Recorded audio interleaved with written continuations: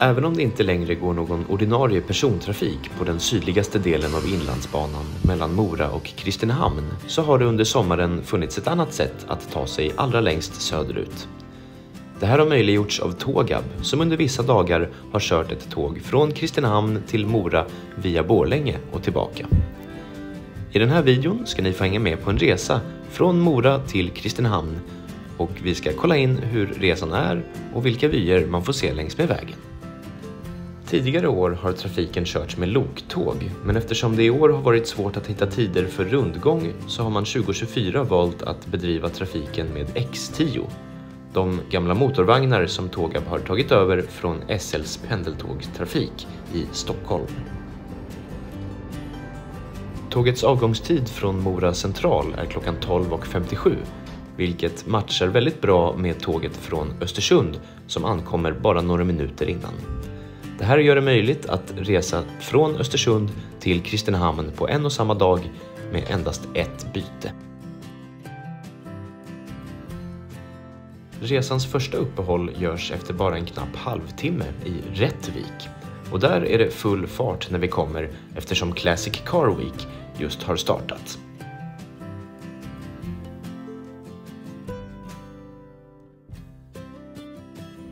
Den nordligaste delen av Dalabanan mellan Borlänge och Mora brukar kallas för Siljansbanan tack vare dess tacksamma sträckning längs med Siljans strand. Det här innebär förstås en trevlig sjöutsikt från tåget.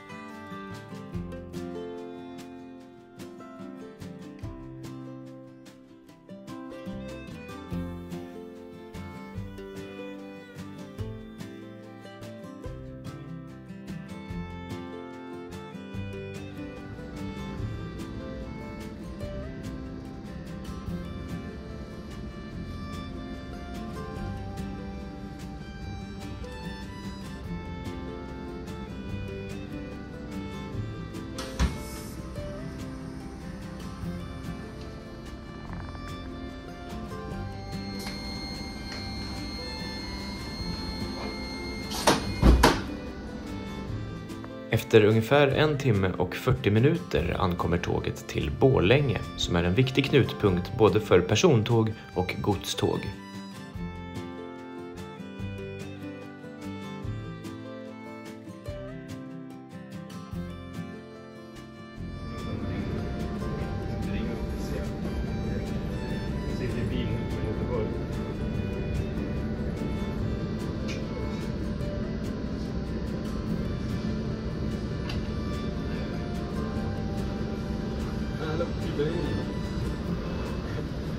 Nej, men du satte dig på tåget precis här ner mot Partiet i eh, Kristinehamn.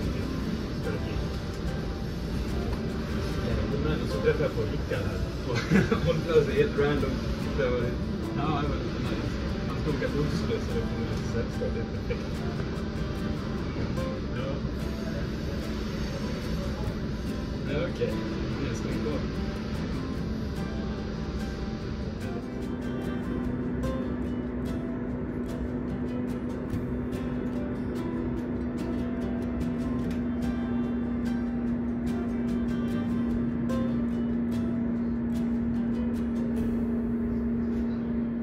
Efter ett lite längre uppehåll i Borlänge fortsätter resan söderut och det har blivit dags att ta sig an en ny järnvägssträcka, nämligen Bergslagsbanan.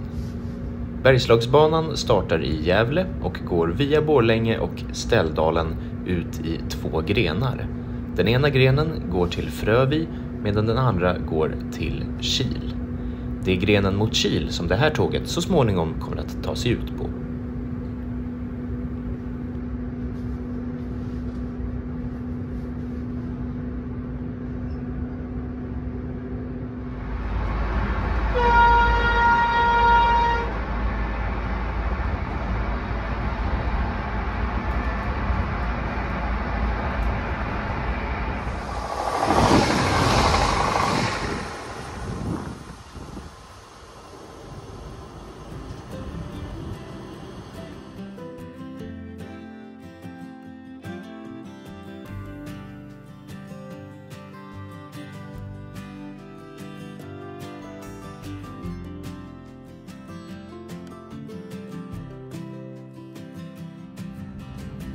När tåget har tagit sig ut på grenbanan mot Kil görs det första uppehållet i Hällefors, vars stora bangård vittnar om att det går en hel del godstrafik till och från bruksorten.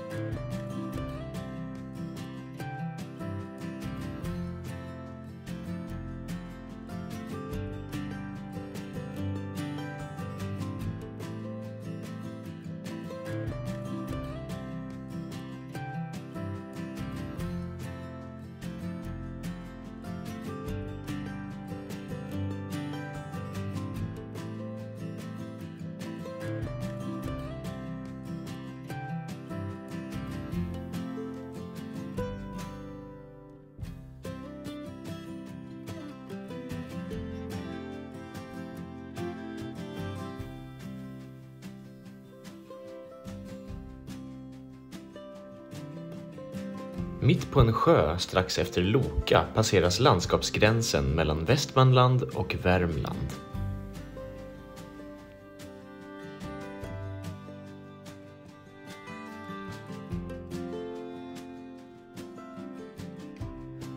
När vi når Nykroppa kommer vi till det triangelspår som för samman Bergslagsbanan med Inlandsbanan. Det innebär att resten av resan faktiskt kommer att gå på Inlandsbanan eftersom den sydligaste biten mellan Nykroppa och Kristinehamn är intakt och har regelbunden trafik. Det är även den enda delen av Inlandsbanan som är elektrifierad om man bortser från de sträckor som går gemensamt med andra banor som till exempel Mittbanan. Även om det går enstaka persontåg mellan Kristinehamn och Nykroppa är det framförallt godstrafik som kör på sträckan. Bland annat så körs det så kallade knäckebrödståget mellan Kristinehamn och Filipstad helt och hållet på Inlandsbanan.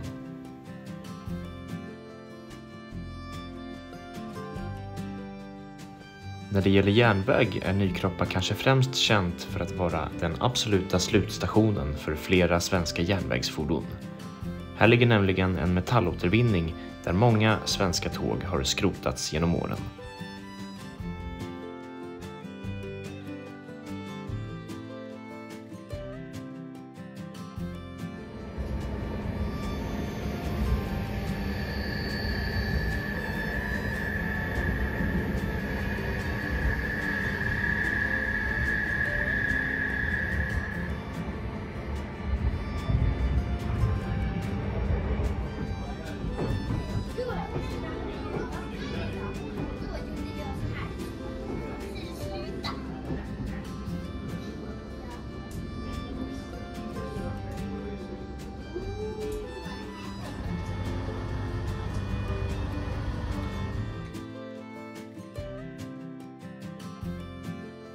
Järnvägen mellan Storfors och Kristinehamn öppnade redan 1873, alltså ganska många år innan idén om den sammanhängande inlandsbanan förverkligades.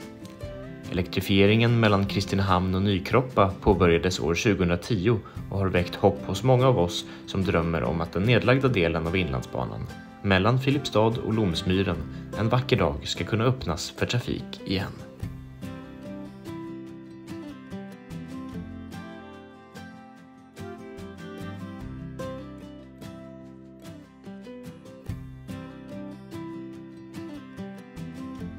Motorvagnarna X10 tillverkades av ASEA i början av 80-talet och kördes som pendeltåg i SL-trafiken i Stockholm ända fram till 2017 då Citybanan öppnades. För att Tågab ska kunna köra längre sträckor med tåget har toalett installerats ombord och det finns bekvämare säten från gamla SJ-vagnar som går att boka för den som vill. Några dörrpar har byggts om till bagageutrymme och eluttag har installerats vid sittplatserna. Dessutom finns det en liten kiosk i ena änden av motorvagnen.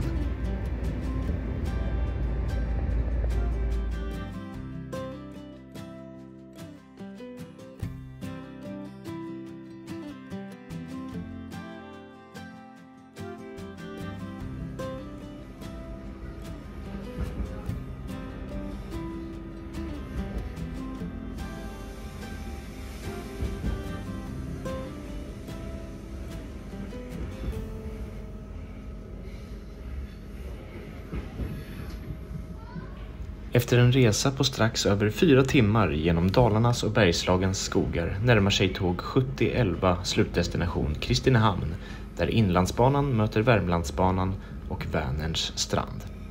I Kristinehamn finns det alltså anslutande tåg till både Stockholm, Värmland och Norge.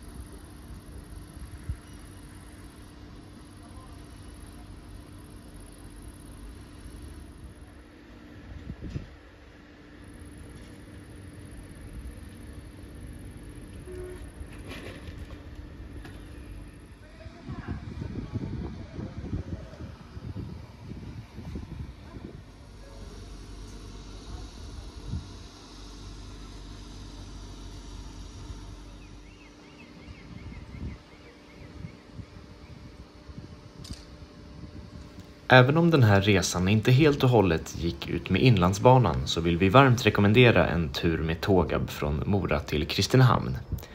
Just den här trafiken kör endast under sommaren men vi kan tipsa om att det på söndagar nu under hösten körs tåg mellan Falun och Kristinehamn på samma sträcka. I vissa fall hela vägen förbi Karlstad ända till Göteborg.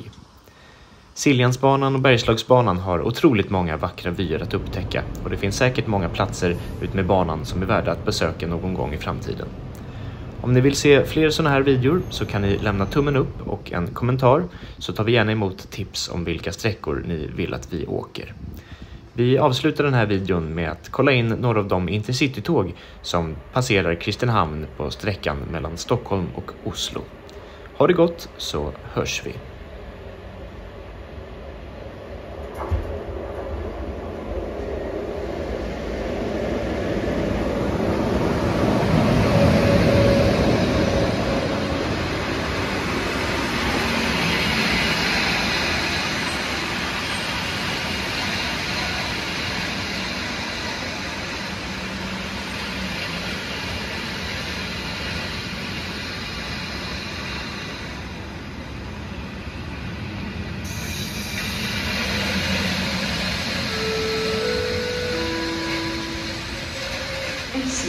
Citytåg 644 mot Hallsberg, Katrineholm, Stockholm central vid avgångstid 17.49.